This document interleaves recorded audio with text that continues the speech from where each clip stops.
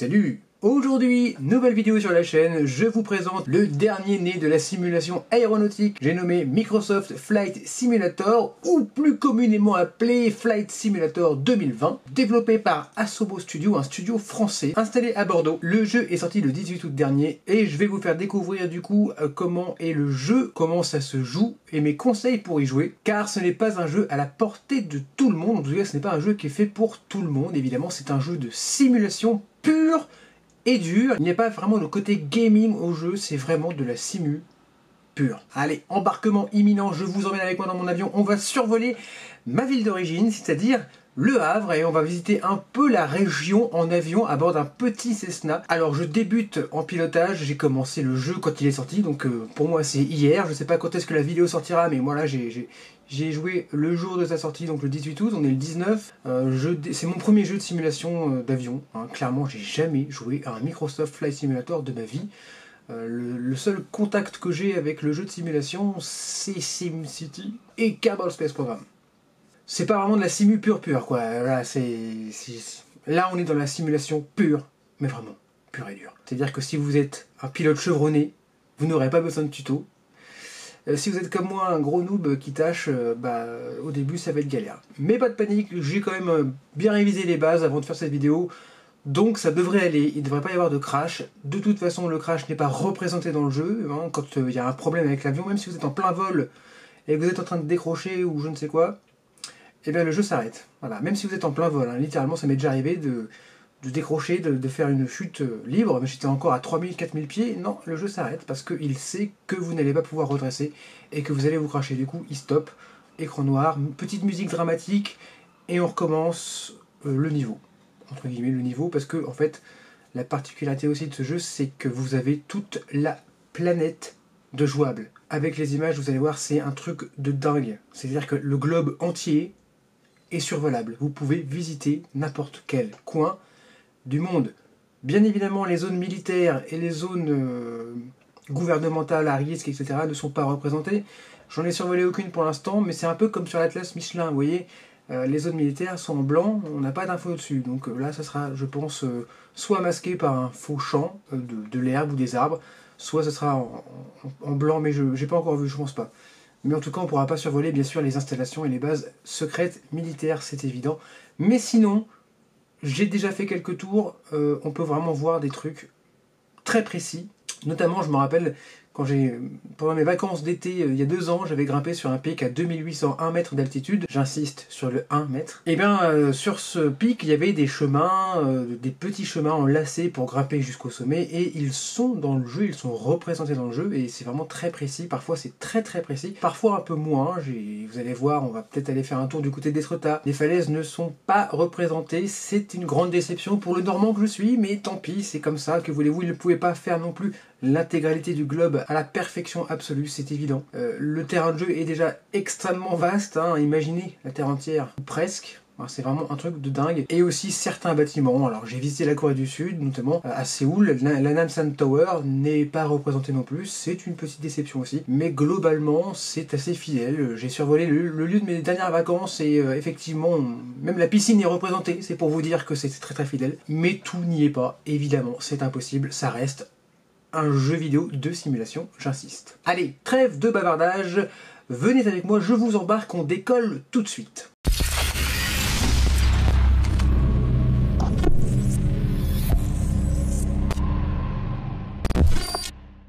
Et nous voilà donc sur l'écran titre de ce jeu. Donc, pour résumer brièvement, je crois que je l'ai dit dans l'intro, mais c'est pas grave. Euh, Flight Simulator 2020, Microsoft Flight Simulator 2020, développé par Asobo Studio un studio français basé à Bordeaux, Cocorico, euh, qui est sorti hier, donc si vous regardez la vidéo, le 19 août. Il est sorti le 18. Et alors, donc, dans cette partie, je vais donc vous montrer un petit décollage depuis l'aéroport à côté de chez moi. Et d'ailleurs, vous allez voir que les aéroports sont quasiment, euh, en tout cas en France, hein, je ne connais pas tous les aéroports du monde bien sûr, mais il y a beaucoup beaucoup d'aéroports qui sont représentés, parfois fidèlement, parfois non. Sachez aussi qu'il y a un... Il y a des, euh, du contenu payant sur ce jeu, notamment au niveau des aéroports. Il y a des, aéroports qui coûtent 20 euros, si vous voulez avoir un aéroport fidèle modélisé euh, de telle ou telle ville, il faudra payer 20 euros. C'est très cher. Et c'est clairement inutile à mon sens pour ce que ça représente. Enfin, c'est juste un aéroport quoi. C'est juste un aéroport. Bon, après, si vous voulez que ce soit extrêmement fidèle, euh, bon, pourquoi pas. Pour parler un peu de la technique de ce jeu, sachez que le jeu tournera en 2K. J'ai essayé plusieurs euh, résolutions. La 4K, ça passe, mais ça rame. Euh, le, mon PC, c'est plutôt un bon PC. Hein. c'est un processeur, c'est un Ryzen 7. ma carte graphique, c'est une RTX 2070S et j'ai 16 Go de mémoire vive, c'est plutôt une bonne machine, c'est pas un monstre de guerre, mais c'est quand même plutôt une bonne machine, on va pas se mentir, j'ai beaucoup de chance de l'avoir. Mais il ne fait pas tourner à fond, à fond le jeu, parce que vraiment, quand vous mettez tout à fond, bah, ça commence à cracher un peu ses poumons. Euh, mais cela dit, ça reste très agréable à regarder en 2K, et euh, là je suis pas en ultra, je suis en haut, ce qui reste très agréable, et en tout cas c'est fluide. Donc c'est l'avantage, c'est que c'est très fluide. J'espère que sur la vidéo, la capture, ça sera fluide aussi. J'espère que pour la capture vidéo, ça sera fluide aussi. Mais là, en tout cas, moi, personnellement, ce sera voilà. C'est pas un jeu qui... Euh, c'est un jeu qui demande beaucoup de ressources, puisque forcément, vous le savez, euh, la surface de jeu, c'est la planète entière. Je ne sais pas si vous imaginez, mais absolument toute la planète est survolable. Toute, ou presque, évidemment, Enfin, je, ne sais pas s'il y a des zones qui ont été rétrécies ou pas, mais en tout cas, vous allez voir euh, dans quelques instants. J'ai déjà dit dans l'intro, ça, non? Au cas où je ne l'ai pas dit dans l'intro. Vous allez voir que c'est assez impressionnant de voir la planète entière qui est jouable.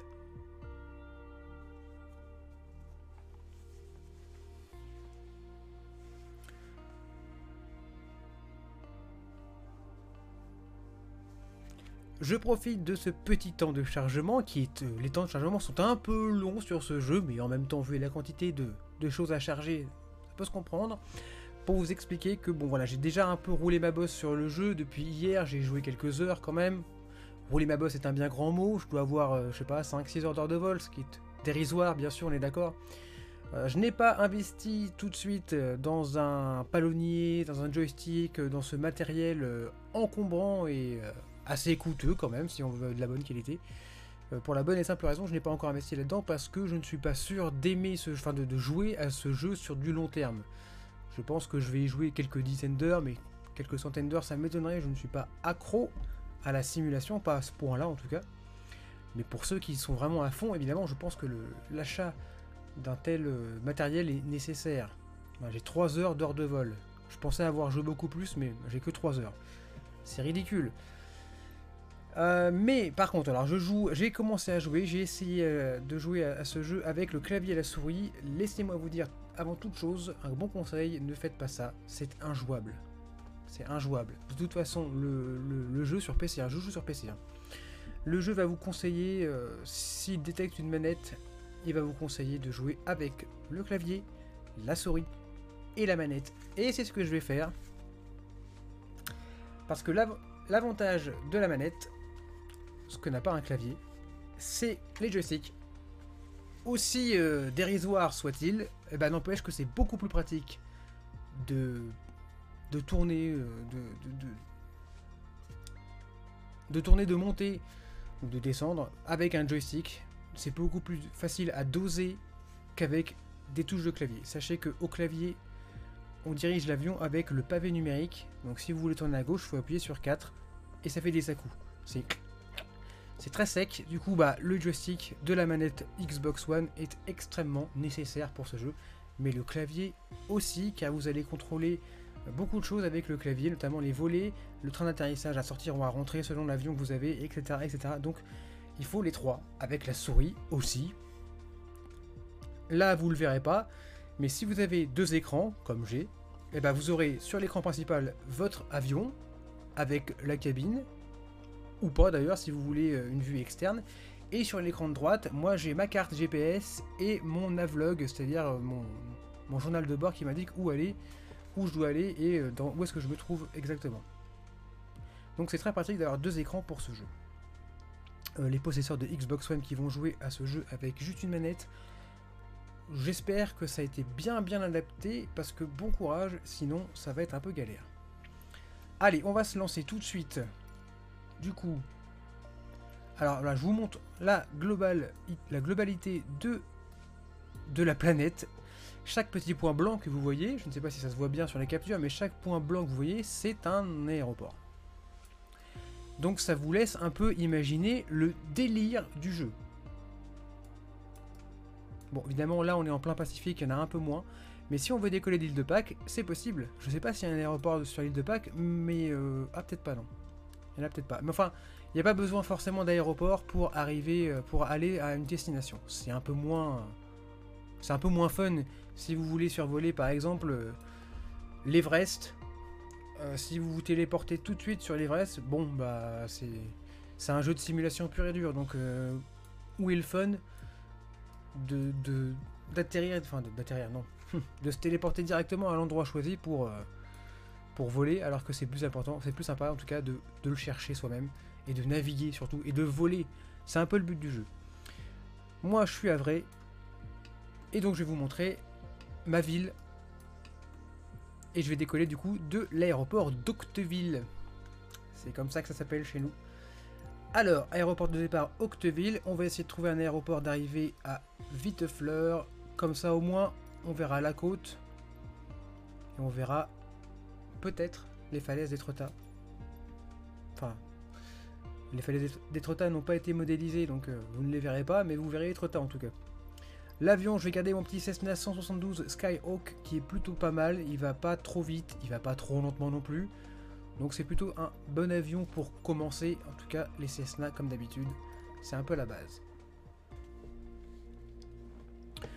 Encore un temps de chargement. On se retrouve juste après, bien sûr. A tout de suite.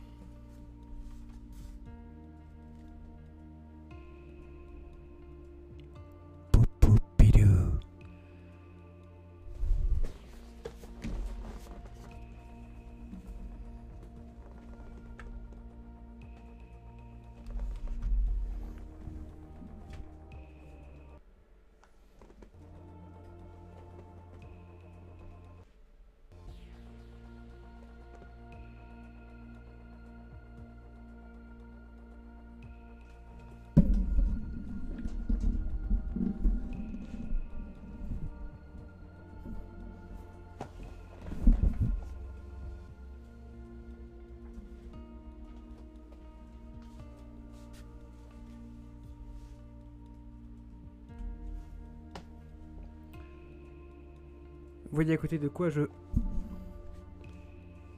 Regardez à côté de quoi je travaille. Non mais franchement, elle est pas belle la vie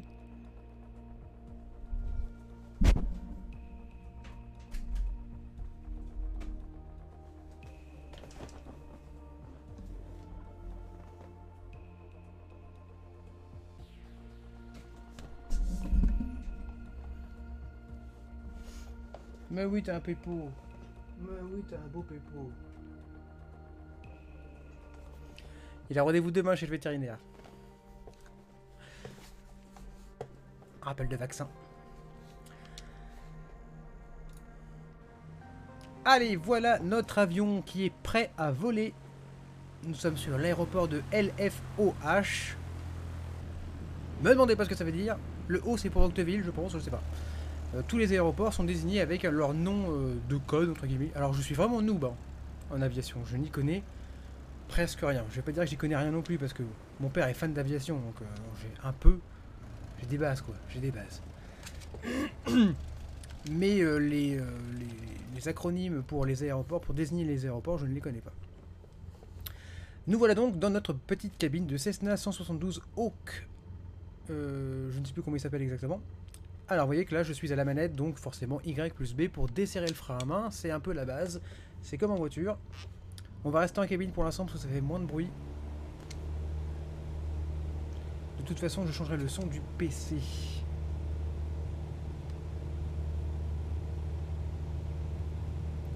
Et une fois qu'on est arrivé à 55 nœuds à peu près, on va pouvoir décoller. Et c'est parti.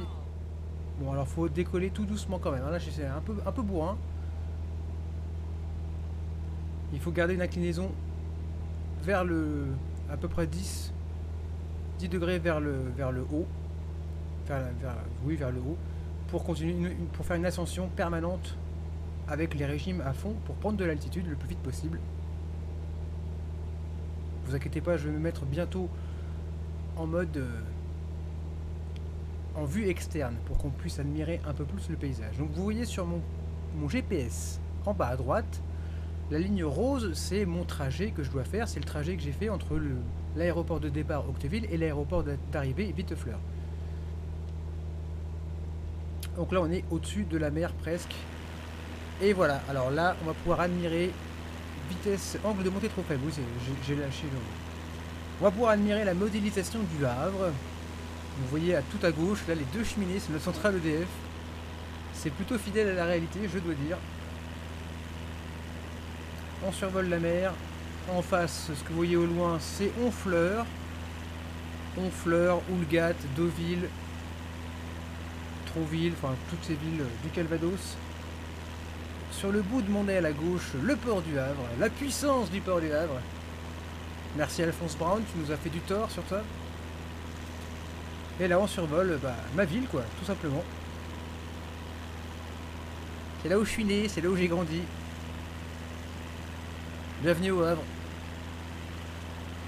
Je vais faire ce, jeu, enfin je vais faire cette vidéo, elle sera en, temps réel, en dehors des temps de chargement que je vais couper bien sûr.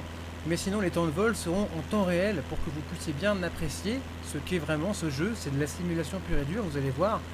Il y a des moments creux, il y a des moments vides. Je vais essayer de les meubler du mieux que je peux avec euh, mon improvisation légendaire. Mais sinon voilà, c'est vraiment de la simulation pure et dure. Vous allez voir que c'est pas... Euh, c'est clairement pas un jeu fait pour tout le monde. Personnellement j'adore. Mais je peux comprendre que ce soit pas fait non plus pour tout le monde. C'est quand même un jeu à tester je pense, au moins une fois dans sa vie au moins pour voir. Si possible avec euh, du très bon matériel euh, pour les joysticks et tout le tout team. Alors là, vraiment tout à, gauche de mon aile gauche, là où, juste là, ça touche le quartier qu'on voit, c'est le quartier Saint-François, c'est-à-dire que c'est le Havre à l'origine. C'était là, avec les bassins tout autour. Ça s'appelle le quartier de l'île d'ailleurs, parce que ça, fait une île. J'en profite pour faire la visite historique de ma ville parce que c'est tellement fidèle à la réalité qu'on peut se permettre ça. Les bassins du Havre, il y en a beaucoup. Là, c'est l'embouchure de la Seine, ce que vous voyez. Alors, j'ai pas vu le pont de Normandie. Je suis très très déçu. Le pont de Normandie et le pont de Tankerville non plus, j'imagine, ne sont pas présents dans le jeu. C'est une cruelle déception. Euh, c'est vraiment dommage. Parce que c'est quand même de beaux ouvrages. Et je trouve ça vraiment dommage de ne pas les avoir modélisés, de ne pas avoir modélisé aucun pont. A priori aucun pont, peut-être à San Francisco, je ne sais pas, mais en tout cas ces ponts-là ne sont pas là. Alors qu'on voit les deux cheminées de la centrale EDF qui sont qui est vraiment dégueulasse à voir, enfin c'est pas beau. Euh, elles, elles sont là, mais ni les falaises d'Etretat, ni le, pont de Normandie et de Tankerville ne sont là, c'est dommage. Franchement c'est dommage. Allez on survole Port 2000. Port 2000 et le port tout simplement. Vitesse supérieure à 74 nœuds, je crois que c'est parce que je survole une ville, mais je ne suis pas sûr qu'ils me disent ça. Mais c'est pas grave, on va, se, passer de ce détail. C'est pas très important. Donc là, on survole vraiment la zone portuaire du Havre. Le Havre, qui je rappelle, est le deuxième port français, après Marseille, ou au moins ex avec Marseille, ça dépend des temps. Mais c'est quand même un très très grand port de marchandises J'en profite pour faire un peu la pub de ma ville. Venez vivre au Havre, venez au Havre, au moins venez visiter le Havre. C'est une ville qui mérite euh, le détour. Donc là, on revoit l'aéroport d'Octeville, l'aérodrome d'Octeville. Là, on est vraiment sur la vue du Havre qu'on connaît. Euh, nous, en tout cas, cette vue-là, on la connaît tellement, bien. Euh, c'est dans le sens sud-nord, donc là, on, on, la connaît bien, cette vue-là. Avec juste au-dessus de mon aile droite, un gros poumon vert. C'est la forêt de Montjon. C'est une grande forêt en plein cœur de la ville qui fait un bien fou d'ailleurs pour tous ceux qui aiment la nature parce que quand on est dans la forêt de Montjon, je peux vous assurer qu'on est vraiment dans une forêt, tout ce plus naturel et ça fait plaisir, c'est vraiment un bonheur cette forêt. Ah moi j'habite, ah là c'est le rond-point là, juste en bas de mon aile gauche là, hop. Moi j'habite dans cette rue là, la, rue que je suis en train de, suivre. Vous pourrez presque voir mon appartement. C'est très très bien fait. Franchement, c'est assez impressionnant parce que c'est extrêmement fidèle. l'hôtel de ville qui est juste là, effectivement. Il... Ah ouais.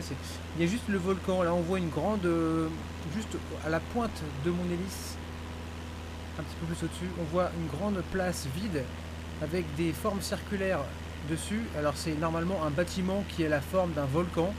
C'est un théâtre. Il n'est pas représenté non plus. Quel dommage.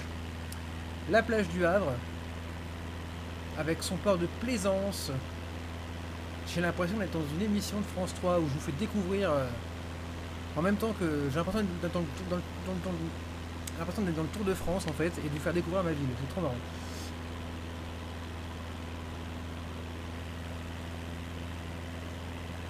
Là on survole. Hop, on survole donc toujours. On, survole la ville haute là. Parce qu'il y a une ville haute, une ville basse au Havre. Moi j'habite en ville basse. Hop, on va recadrer la caméra pour être bien. Et donc voilà, le Pays de Caux, qu'on appelle ça comme ça, le Pays de Caux, c'est très plat, c'est plein de champs, c'est plein de petites maisons un peu partout. Et là on va se diriger euh, vers Etretat, c'est juste devant, c'est tout droit. Il n'y a plus qu'à suivre le guide. Alors je dois vous dire que cette vidéo m'arrange, puisque je n'aurai pas besoin de la monter ou presque, vu que je veux vous montrer en temps réel ce que c'est que Flight Simulator de démarre. Donc ça fait moins de travail pour moi, c'est plutôt pas mal. C'est un truc de feignant, hein, mais bon.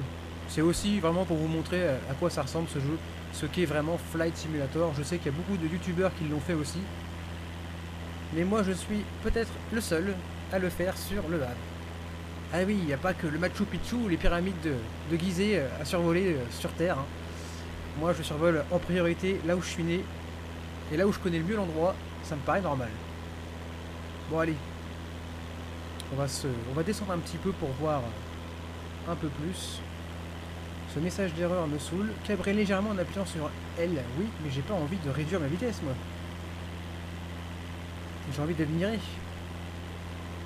Et j'ai pas envie que la vidéo fasse euh, 45 minutes non plus, donc euh, on va accélérer un peu. Donc là, si je me remets en vue intérieure, on voit que ma ligne rouge, je suis pas très loin. Donc je suis bien euh, l'itinéraire que je dois suivre. On va ouvrir le navlog pour voir. Donc là où je dois aller, c'est au cap 52. Je le referme. Cap 52 degrés. Donc vous voyez que là, je suis à 39 degrés sur mon. euh, je sais pas si je vous montrer avec la souris. Je ne sais pas si la souris est enregistrée, le pointeur est en- enregistré. Donc là, le cap il est ici. Donc là, je vais être à 52 pour aller vers la direction que je veux vraiment.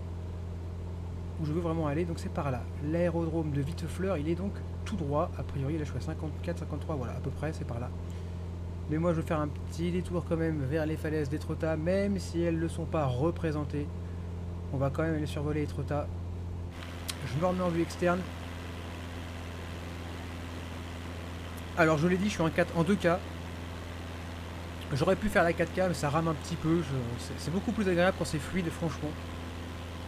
Je préfère quand même la fluidité à la résolution, même si, je vous l'ai déjà dit, la résolution sur ce jeu importante. Je trouve que c'est vraiment le 2K, c'est le minimum en fait, parce que c'est sinon c'est vous perdez un peu du plaisir euh, pour les yeux. hein, je parle bien sûr.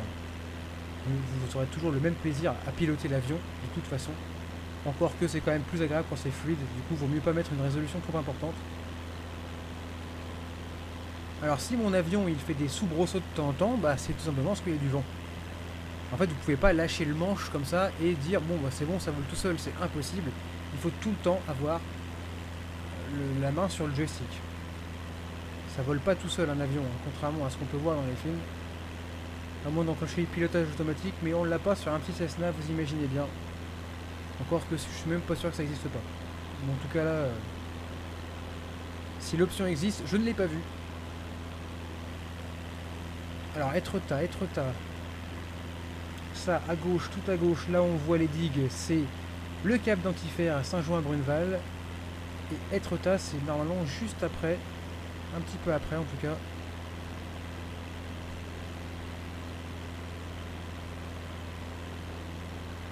Je vérifie mon, GPS sur l'écran de droite. Je, me- je un peu de la route. Regardez, Je dévie un peu de la route, mais c'est pas très grave. On a quand même, euh, je crois, 5-6 heures d'autonomie sur un Cessna. Euh. Car oui, c'est du temps réel. Hein. Du coup, si vous voulez faire un Paris-Los Angeles avec un gros avion de ligne, eh bien, prévoyez du café, prévoyez euh, une journée de repos parce que c'est 7 heures, 8 heures de vol. Hein. En, temps réel, du coup, c'est 7 à 8 heures de vrai 7 à, 7 à 8 heures, c'est une vraie heure. 8 vraies heures de vol. C'est du temps réel, c'est très long. Ça plaisante pas chez Microsoft. On est vraiment dans de la simu pure et dure. Du coup, si vous voulez faire le tour de la planète, bah vous pourrez pas. Sans faire de. Sans faire de. Je sais même pas si on peut atterrir pour faire le plein, je ne pense pas. Donc vous ne pourrez pas faire le tour du monde en avion, ça serait trop long et vous n'aurez pas assez d'essence.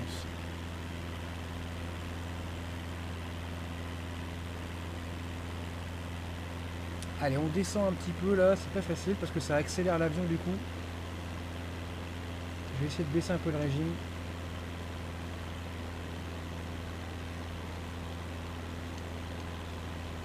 Voilà, on sent au niveau des bruitages, c'est extrêmement bien fait. Je ne sais pas si vous avez l'habitude de voir des avions. Moi, j'en ai quand même vu plutôt, euh, plutôt pas mal quand j'étais plus jeune. Et je peux vous assurer que le bruitage du moteur d'avion bien rendu. Et surtout quand on baisse le régime on sent bien la différence de son. C'est vraiment très bien fait ça aussi. Au niveau sonore c'est parfait. Vitesse supérieure à 74 nœuds très bien je m'en fiche complètement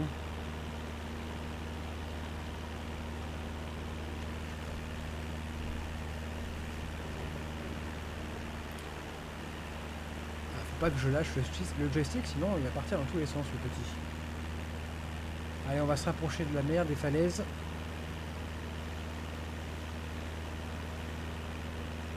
Vous voyez ma jauge d'essence, de toute façon, elle est euh, dans le vert largement. On a de quoi faire, on a de quoi tenir, on ne se crachera pas. Idéalement, il faudrait que je réussisse mon atterrissage pour euh, bien boucler cette vidéo et pas atterrir dans le déport, ce serait plutôt pas mal. Après, atterrir, c'est vraiment pas le truc le plus difficile qu'il y a à faire dans ce jeu. Décoller, atterrir, c'est pas, pas très compliqué. Voler non plus, vous me direz, mais il y a quand même quelques petites, petites subtilités, il faut faire attention. C'est pas simple, c'est pas difficile, mais surtout c'est pas simpliste. Et c'est là l'intérêt de la chose.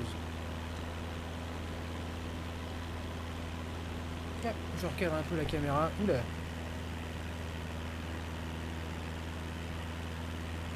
Alors, on approche d'Étretat, c'est là-bas tout à, droite là.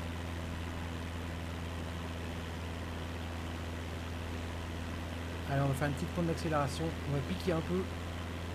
Il va nous mettre un petit message d'erreur, mais c'est pas grave. Tant qu'on décroche pas, ça va. On peut pas décrocher de toute façon, je pense, en piquant l'avion.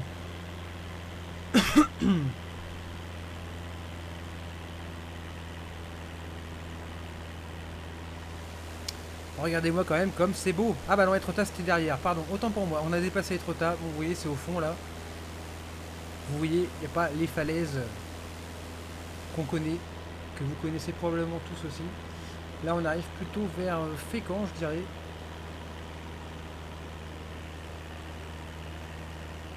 Et du coup, on va se réorienter vers notre... Euh, dans notre cap.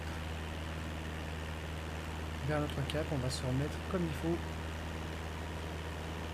pour retrouver l'aéroport d'arrivée. Alors en appuyant sur X, ça centre sur les points d'intérêt, mais là personnellement, je ne vois pas vers quoi il centre. Alors au niveau de GPS, ça nous dit quoi? Ça nous dit qu'on est assez loin, puisqu'on ne la voit pas, de la ligne qu'on doit suivre, a priori. Mais pas de panique, on va vite la récupérer je pense.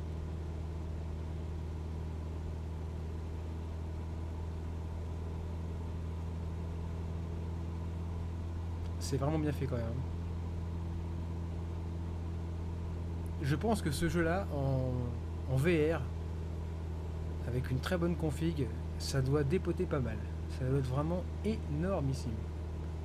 Plus besoin de contrôler la vue, vous tournez la tête pour voir à gauche, à droite, ça doit vraiment être immersif, de fou furieux. J'aimerais beaucoup, beaucoup tester avec un VR. Alors je pense que les VR sont pas encore euh, techniquement au point, en tout cas celui de la PlayStation, c'est même pas la peine. Pour afficher un tel degré de réalisme, je ne sais pas trop comment fonctionnent les VR, mais à mon avis, ça doit être assez limité techniquement. Peut-être sur PC, je ne sais pas. J'ai jamais essayé. L'Oculus Rift et tout, j'ai jamais essayé. Ça coûte trop cher pour l'instant. C'est pas encore démocratisé, donc euh, c'est compliqué d'essayer. Vous voyez là, on arrive sur la, on retrouve la ligne rouge, donc notre ligne GPS qui nous indique où aller. Alors si vous savez pas où aller, il y a toujours le cap. Hein. Même si là le cap je l'ai perdu parce que je me suis déporté complètement. Du coup il faudrait peut-être remettre le navlog à jour. Je sais pas comment ça fait. Comment, on fait. Parce que là il me met toujours ce cap 52 degrés. Mais si je me mets en cap 52 degrés, ça me fait aller par là. Et du coup c'est plus du tout au bon endroit. Là vous voyez je. Ah si quoique c'est pas. C'est toujours le même cap, oui ça marche encore. Là je suis parallèle à la ligne euh, du GPS.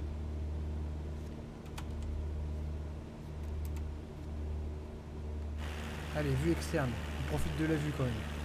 Le navlog, on le ferme. Pour l'instant, on n'a pas besoin. Moi, j'ai mon écran GPS sur l'écran, mon deuxième écran. Donc, euh, de toute façon, vous inquiétez pas, on ne sera pas perdu. Et on continue de survoler cette petite euh, Normandie. Ma Normandie. Me demandez pas ce qu'on survole, là je ne sais plus du tout. Je ne sais plus du tout, je ne sais plus où on est pas vraiment un coin que je connais beaucoup non plus.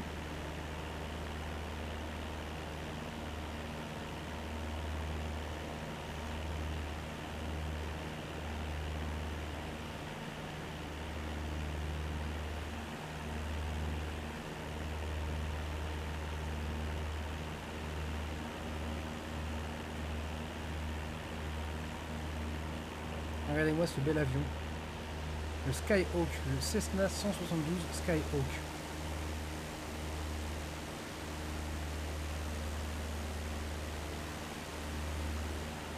Alors ça je crois que c'est Fécamp. Oui. Ça c'est Fécamp, la ville qui est juste en dessous là derrière moi. C'est Fécamp.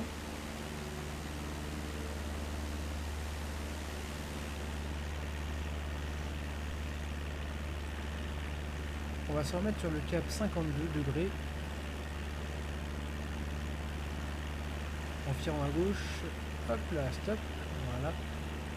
Et normalement, si j'arrive à me stabiliser au cap 52, ce serait plutôt pas mal.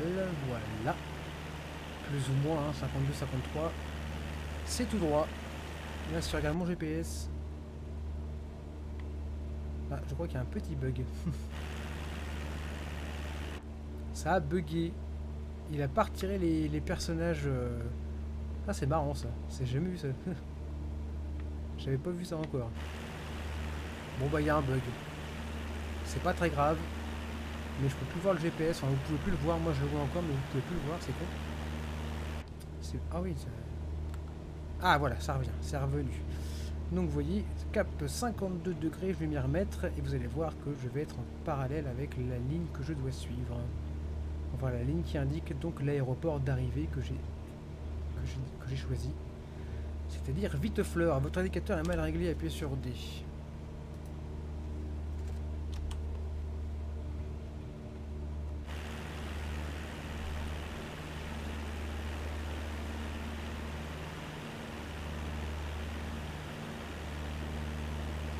vous voyez, hein, c'est vraiment pas le plus le, trajet le plus euh, le plus grand. Enfin, j'ai vraiment fait Le Havre, enfin, Octeville, Vitefleur. C'est pas très loin. Et vous avez vu, ça fait déjà une demi-heure que j'enregistre cette vidéo. Bon, on a fait un petit tour au-dessus du Havre, certes, mais vous avez vu que c'était pas non plus... C'est pas, un, pas un jet, quoi. C'est un Cessna. C'est pas un avion à réaction. C'est pas un, Mirage 2000 ou je sais pas quoi. Donc euh, ça va pas très vite. Ça semble, on ne semble pas aller très vite. Pourtant, je peux vous assurer que ça va vite quand même.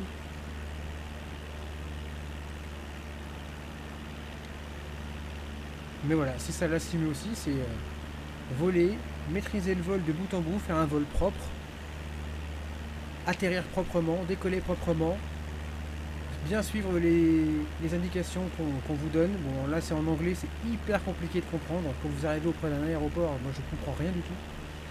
Mais au moins bien suivre votre plan de route si vous avez choisi de faire euh, Le Havre, Marseille par exemple, avec un avion qui a du carburant bien sûr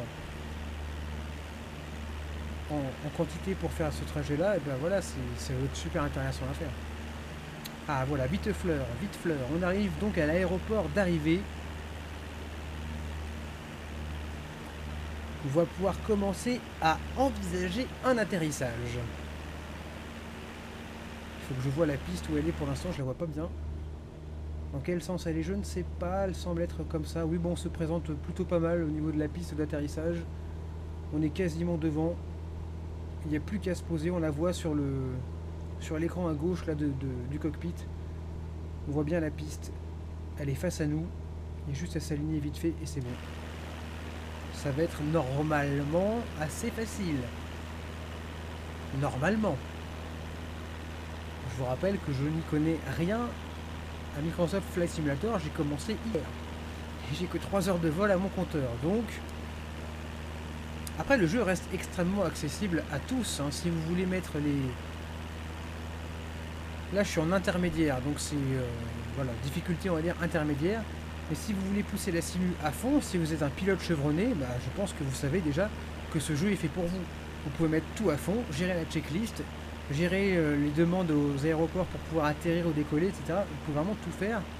C'est de la simu pure et dure. Si en plus vous avez le matériel nécessaire pour faire pour piloter l'avion, bah, c'est vraiment du bonheur. Pour ceux qui sont vraiment accros à la simulation, c'est un rêve de gosse qui se réalise. C'est ce que titrait euh, Gamecult pour son test, mais c'est vrai. Pour ceux qui rêvent de ça, c'est vraiment ce, jeu-là, c'est l'aboutissement de presque 40 ans de développement de, Microsoft Flight Simulator. Ça fait depuis 1982 que la série existe. Rendez-vous compte à quel point on en arrive. Bon, on arrive à la piste d'atterrissage, nous en tout cas. Donc c'est plutôt pas mal, on est vraiment bien en face. Je vais commencer à, descendre un peu trop vite là d'ailleurs à mon goût, mais bon. J'ai baissé le régime. F8 pour les volets. Oui, ça va ralentir l'avion. Là on voit bien les volets qui sortent, enfin qui se... Oui, qui sortent.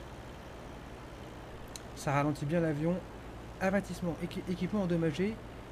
Une vitesse excessive endommage les volets. Oui, bah, j'arrive, j'arrive, pas de, pas de soucis. Je, je, suis, je suis beaucoup trop rapide, mais je vais freiner, faire l'arrondi comme on dit. Hop.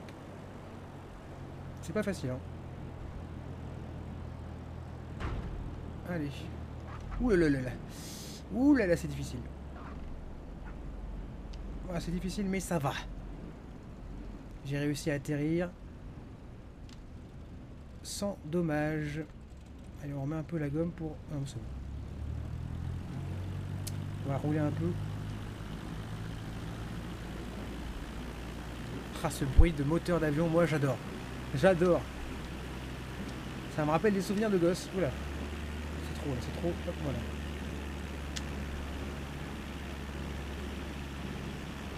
C'est trop fort là. Faut pas trop prendre de vitesse, c'est juste pour rouler un peu. Histoire de se mettre sur une, une de garage.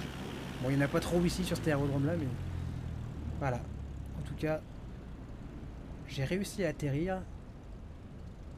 On va remettre le frein, de toute façon je pense qu'il n'y a pas de taxiway donc euh, hop le frein à main.